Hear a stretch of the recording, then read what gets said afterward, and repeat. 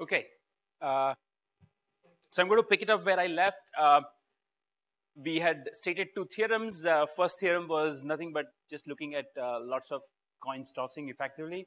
And the second was uh, trying to argue that there is one simple uh, way to determine what is the what is the number of samples that we need, and that number of samples should depend on something what I would call a covering number, a covering number which is just a, a property of probability measure um, an underlying space, of course, through that.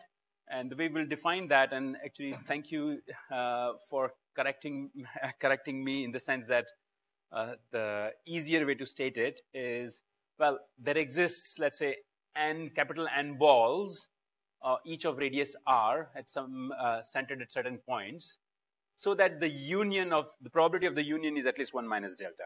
And that's exactly uh, the right way to think, write the definition. I got carried away thinking about the next step.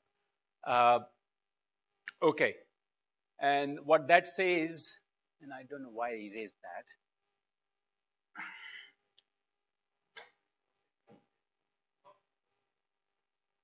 Oh, I see. Thank you. uh, this was less than or equal to epsilon plus 3 delta times y max minus y Okay. Yes.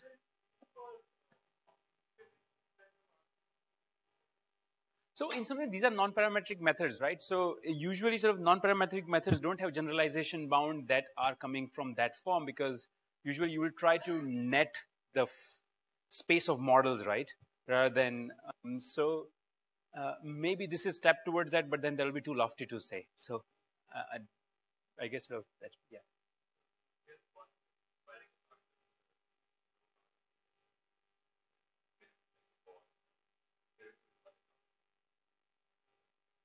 So theorem one, you can say that it is lower bound, but or you can say that sort of look, if this is the probability of the ball, this is the number of samples you need. So depending on how you, so usually sort of the way, let's say uh, you open up a book by uh, Tsybakov and look at the most general version, or uh, there's an uh, actually more interest. So again, I have a reference which I'll, uh, I think it's Devroye et al. Uh, in 2015. Um, then there will be some condition that you would put that would make effectively that type of argument a little nicer.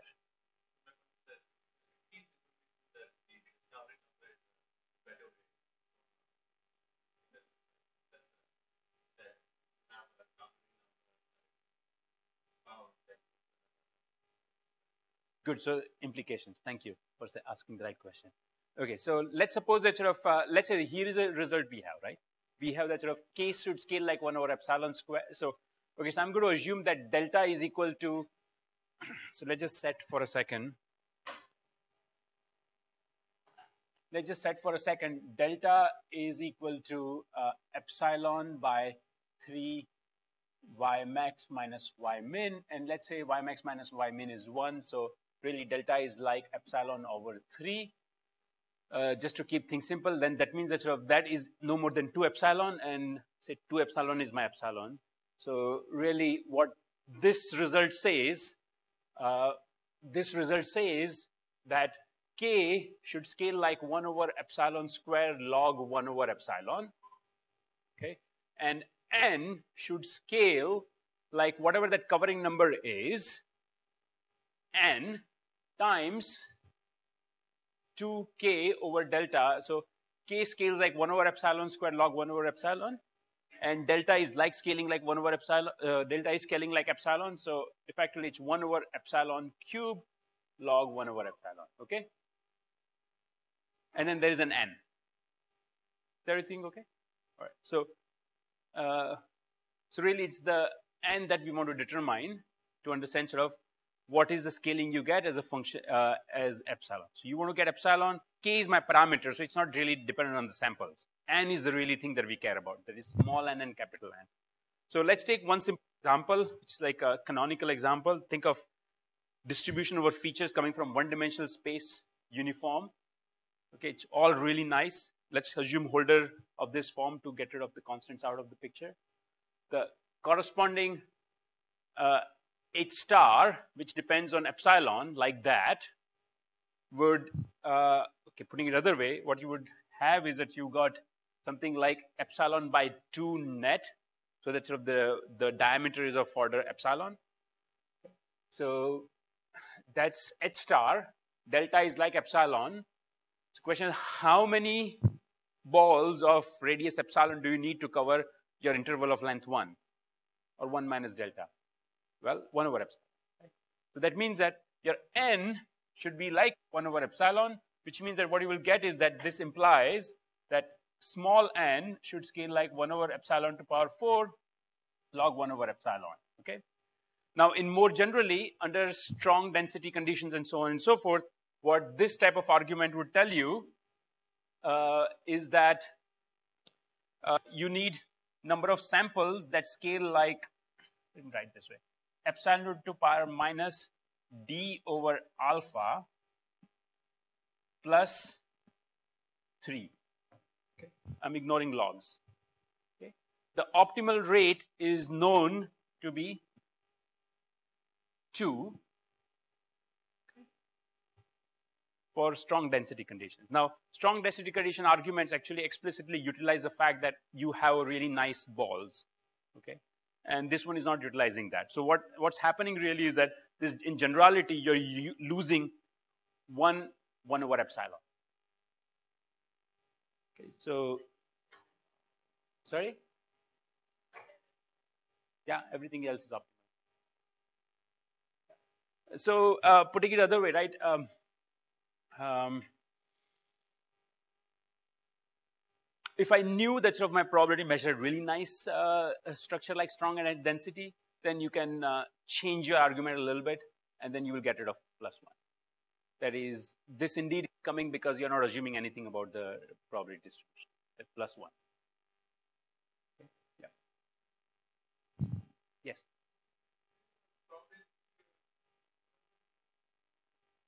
I, I don't remember. It'll be hard for me to state because um, it is complicated a little bit, but you can sort of, uh, that has precisely.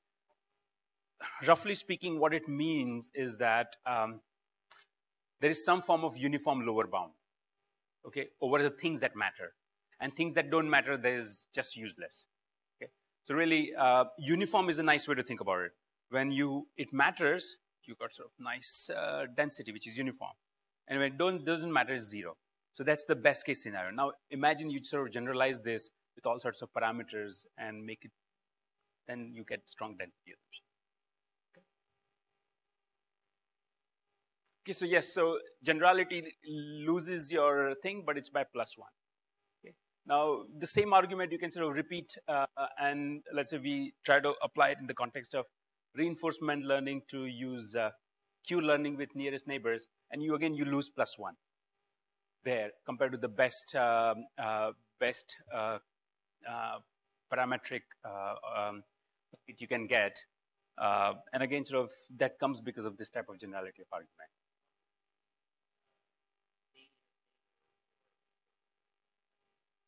Ah, so yeah, so let's suppose that you want to learn Q function uh, you to learn Q function where you have state and action, and now they're not discrete, so you're not doing tabular, but you have, um, let's say, uh, your space, uh, so your state space is continuous, which means you will never repeat as in any finite trajectory. Uh, and now you want to sort of learn the Q function for every possible state. So that means, um, and action. In that case, what you would like to do is somehow given observations, you want to learn Q function through some kind of um, as a supervised learning. So you got you've seen some trajectory, and based on that, you want to sort of determine what to do. And mm-hmm. naturally, so you just write down basically the Q uh, iteration, but now with the nearest neighbor operator rather than generic uh, in the discrete case where you just write down as a sort of the tabular uh, evolution. Anyway, so that's basically uh, what this is doing. So now let's just sort of go through the proof of this. Uh, sorry, let's leave it here. Write down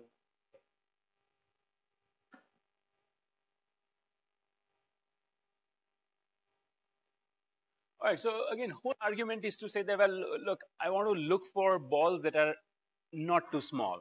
And I want to argue that the number of balls cannot be, not all balls can be small. And one way to say that is, look, if I have enough sample, so if this is my set of my balls, let's say uh, that I'm covering, obtaining using this kind of covering, uh, each of radius, small enough radius, and I've got enough points, then by effective pigeonhole principle, right, the, at least one of them should have enough of those points. Okay? And then I would like to argue that that type of argument is sufficient. That is, that's not too bad. That is, I've got space, I've got space which I can cover nicely, and now I'm going to put more points than the number of, uh, uh, number of uh, disks I need to cover it. So of course, there will be at least one disk which will have enough points. Question is, why is that sufficient? Because maybe that doesn't mean that enough, because what about sort of the remaining uh, other disks, right? So it needs a little bit of argument. Okay? All right, so let's do that. Sorry? Well, just simple algebra. So I'll just do simple algebra. It's literally half a page. There's, there's not much that's there. All right. But again, sort of basic point is that, look, uh, if I did that, you would say, I'm going to find you a point X that's terrible. Okay? But uh, if you're going to find me an X that's terrible, then sort of uh, my whole argument will go away. But I'll say, okay, well, not all X's can be terrible because my space is finitely covered in some sense with the type of balls that I'm looking for. So if I have enough points, at least one of the disks will have enough points. Remember, the reason I'm getting these enough points in that disk is because that's what my px is telling me. So that means if I'm going to compute expectation with respect to px, most of my mass must be in that disk. So that's the, so let's just, I mean, I can sort of leave it at that actually if you want. Uh, let's use a little bit of calculation. It never harms, just to make sure that we got proof right. Okay. So I'll start with here and continue. Okay, so again, uh, because we assume that X is Polish, and um, what Polish means that all the probability measures on that are, are tight, which means that for every probability measure, there exists a compact set. Uh, you choose delta, you will find a compact set with, so that at least one minus delta mass is within that. Once you have a compact set, by definition, you got uh, finite cover, which means that the covering number is finite. So now let's assume that that finite covering exists. Now what I'm going to do is, let's say, so you got this, you gave me this finite covering Bn, where it's uh, covering of this type. Okay, that is, it's covering most of the mass, and each ball has radius h, which is like this. Okay. Now let me see what are the bad points here. Well, or what are the bad covers? the bad covers are or bad disks are the one such that that don't satisfy that condition. That is um, rewriting that condition. Px of bi is less than, and again, sort of I'm going to. Uh, uh, so if that condition, the top condition there was satisfied, Px of ball is greater than equal to 8 over n times delta. But it doesn't satisfy that, which means it's less than. Uh, 8 over n times log 1 over delta. These are the bad things. Okay, now I can sort of say that, look, I've got entire space uh, or entire support. I will divide that support into three parts. Okay, the first part is the one where uh, three uh, parts. First part is where this is union of all bad balls. Okay. The E2 is union of all balls minus the union of bad balls, which is E1. Okay. And of course, E3 is the support of X minus E1 union E2 or union of all balls. Okay. Just now, of course, I know that probability of E3, Px of E3 is less than or equal to delta by definition. And whenever my x falls into this, let's say my error is terrible, it can't be uh, more terrible than y max minus y min. So that's why it's delta times y max minus y min, and 3 will come somehow. Okay, so that's basically what's happening there. As far as this is concerned, um, well, when x falls here, again, I may not be able to guarantee that, but I want to make sure that this is small. But when I'm in this world, actually that's good, because this is exactly the one that's satisfying my condition of that theorem 1, which means that when I'm in this world, my error will be small, smaller than epsilon. Okay? And so that means that that will give me this. And again, even though this guy's probability is not 1, 1 is a good upper bound of that. Okay, so that's roughly what's happening. So all that I now need to know is that really worry about this and argue that the probability of this is small. All right, so let's see, how, how does that happen? Okay, so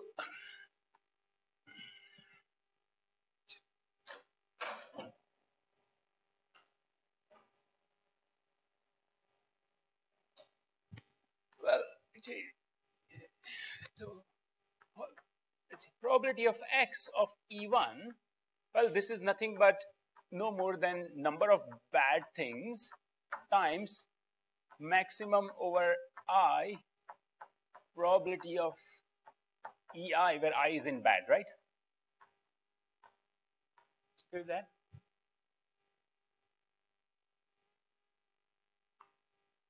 Right? That's because it's just union of bad things. Well, how many bad things can be there? at most n. Okay, so that's fine too. Well, the way we have defined this guy, this cannot be more than 8 over n times log 1 over delta. So that means that if I have n uh, larger than this quantity, by whatever factor, 1 over that would be the bound on that. Okay and that's it. So that means that what we'll do is we will say that n is greater than or equal to uh, 8n log 1 over delta times, uh, what is it? Sorry?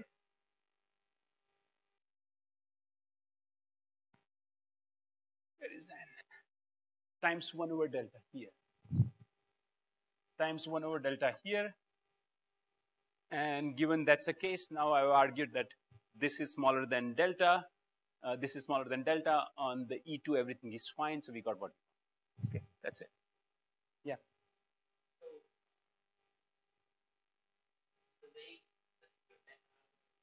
Yeah. Yes.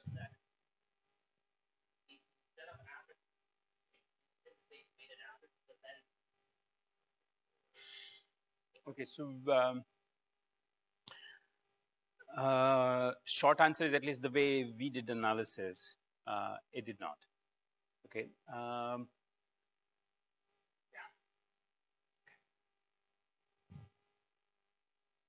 Any other question?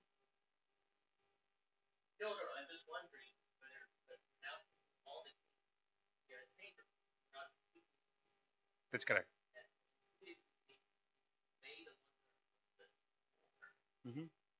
So, so, so, so I, I, mean, I think sort of The intuition would be roughly like this: that it won't improve beyond constant factor, roughly speaking. So think of it this. So if you took it a uniform setup, right, that explains uh, because your first and the kth guy, right, they'll be within that much of a distance. So they're roughly in the same range. So the whatever bias the first guy induces, and maybe log, but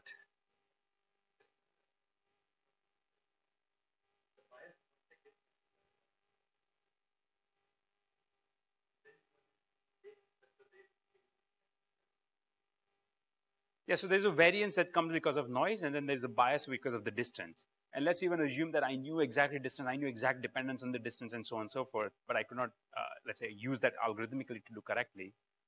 Uh, it's, uh, it's kind of, yeah. Sorry? Well, H star came into the proof because that, that theorem was true only for that, H, that choice of H star. How many points I need, or how close I need to be. Yep. Yeah, so there are lower bounds. I'm not covering them, uh, but implicitly I, I used or I appealed to that lower bound, some meta lower bound, by somebody saying that, well, if you have a strong density assumption, then uh, this minus d to power alpha plus 2 is necessary. And there is an analysis that shows that it's sufficient. Yep.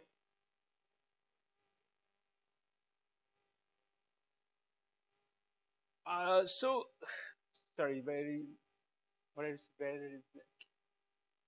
Oh, yeah, so good. Um, yeah, I see. Uh, that comes, okay, I'm trying to remember. So it's definitely not coming from, okay, sorry. So it, it comes because of sort of, it comes from because of theorem one's connection. So here, so you see, uh, I want, I can't have k larger than half times n times. So n has to, small n has to be greater than equal to 2k times the probability of the ball. So that's roughly where it's coming. And that is because if I don't have that, then I won't be able to argue that my, um, my estimator concentrates around its own mean. And then, so that's the kind of a bias, uh, or rather the variance is small. And then the question is how much is the bias that's determined by how large is the k. And how large is the k depends on, uh, uh, or choice of k determines how far I am from my actual thing, which might determine how much is my bias.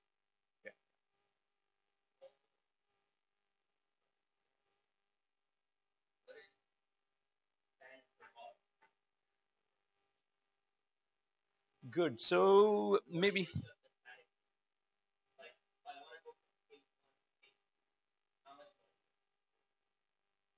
Good. So let's, so, let, so I think this is a perfect time to transition. So it's 11.20, I've got 40 more minutes. Let's say I spend roughly 10, 15 minutes odd on three topics. Uh, one is how to choose K. Two is uh, how to, let's suppose all of this is great. We know exactly how to choose K. How do we implement this? Okay. And then three is, okay, all of that is great, but how did I figure out the distance? In some sense, distance is hidden into my conditional probability in some sense, but how do I know that? Maybe I don't know that. So I will talk about each one of three of them, and each one of them is, uh, at least to my, um, uh, the way I would look at it is, each one of them is open, that is not fully settled. So the great opportunities for people interested in the topic. So that's, yeah, yeah. So there's, as I said, there are three algorithms, right? The ball nearest neighbor, the k nearest neighbor, and the kernel. Like a soft version, or you uh, do threshold either based on distance or based on number of points. And all of them are roughly the same.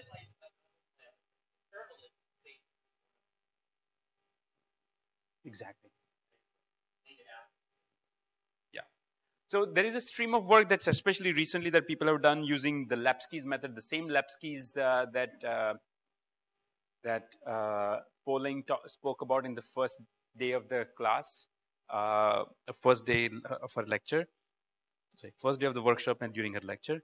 Um, here, in some sense, you can think of parameters being, uh, so if you think of k as a parameter with epsilon fixed and n fixed, then you can think of doing Lepsky. But if you start thinking of epsilon also varying and so on, then so you've got two parameters. So Lepsky is not easy. That's why there is some interesting papers, but again, it's not fully satisfactory. There's another paper that appeared two years back, very simplistic which is very neat. So I thought I'll walk you through that. Uh, it's not fully analyzed, and um, there is a simple toy model that I will analyze it for you, uh, which seem to do the right thing. Okay, so hopefully, if you're interested, maybe it should be uh, analyzable. All right, so this was a paper by um, Anava and um, Anava and somebody.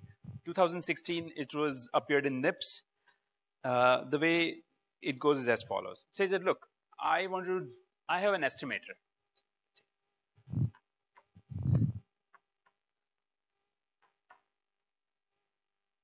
How to choose well, let's say I have an estimator eta hat, where eta hat of x is nothing but summation i alpha i yi and um, or alpha i of now we can sort of say ordered version of yi of x such that alpha i are non-negative they all sum up to 1 okay? So this is uh, this is my estimator. Okay? So how should i choose alpha? That's a question. Um, is there a way I can sort of choose these alphas really, really well? And in particular, if I knew exactly, let's say, what the Hölder uh, parameters are, then actually going through this proof will tell you that there is a clean way to do that. Okay, that is exactly great point. So they say, okay, fine. So they have an intermediate answer. Okay, so let me tell you the intermediate answer, and then we can sort of uh, argue him. Sorry. I is nearest. Mm-hmm. Exactly. So they say, okay, fine. Let's say uh, I don't know these alphas. So say, okay, fine, that's fine. All right. So let's just sort of start at least discussion. Um, so this is an estimator. I want to minim. I want to do two things. I want to I have an error. I want to minimize the bias and I want to minimize the uh, variance. If alpha i's are uniform over all, let's say, thing, my bias would be very large because I'm going to take somebody way far out there and using that person's value to do that. So bias is large, which means I shouldn't have too much uniform. But if alpha is too concentrated, let's say on the only